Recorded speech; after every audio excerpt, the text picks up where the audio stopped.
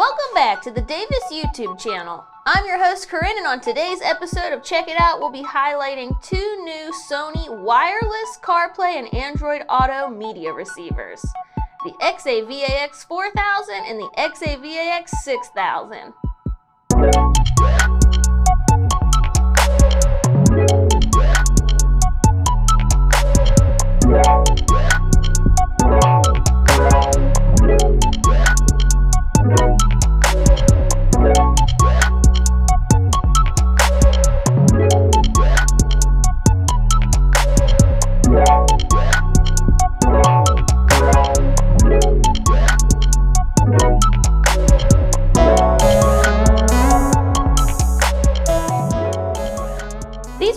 Come loaded with a great deal of impressive features.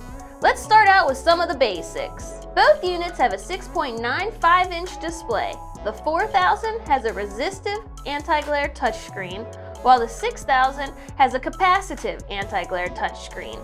What's the difference between the resistive and the capacitive? If you want increased screen contrast and clarity, capacitive touchscreens are the preferred option over the resistive screens, which have more reflections due to their number of layers.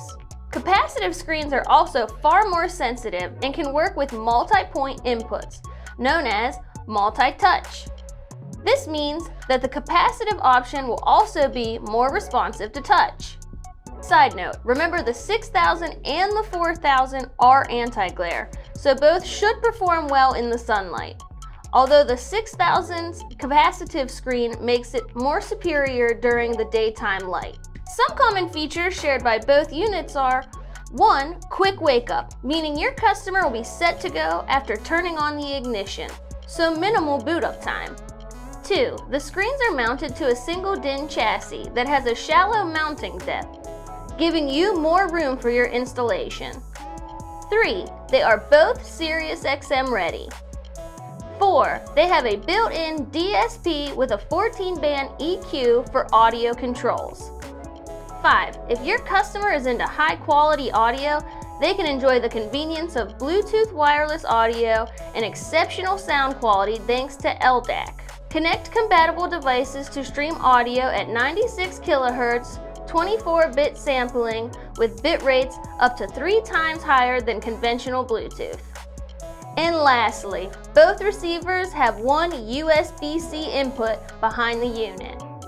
Of course, these receivers come fully equipped with wireless Apple CarPlay and Android Auto for seamless smartphone integration. Take advantage of Google Maps or Apple Maps, as well as all of your preferred streaming music services. Other features include voice texting and being able to make calls. Some of the key differences between the 6000 and the 4000 is that the 6000 features a micro HDMI input while the 4000 does not. The 6000 is also 5 volt 3 pre-out and the 4000 is a 2 volt 3 pre-out. And just to reiterate, the 6000 has a capacitive touchscreen and the 4000 has a resistive touchscreen. Both screens are anti-glare. These units are also completely compatible with the iDataLink Maestro interface, so you can connect car audio to your customer's vehicle while retaining and improving the functions of the original equipment. The XAV AX 4000 retails for $599.99 and the XAV AX 6000 retails for $699.99, making these both great price points for the first Sony mobile units that have wireless Apple CarPlay and Android Auto. The 6.95-inch anti-glare touchscreen mounted to the single DIN chassis makes these versatile pieces for a variety of installations. Thanks for tuning in to another episode of Check It Out. Please make sure to log into davisdealers.com or call your Davis salesperson for more info and availability. Also, give us a like, and if you haven't subscribed, please do that now. Until next time.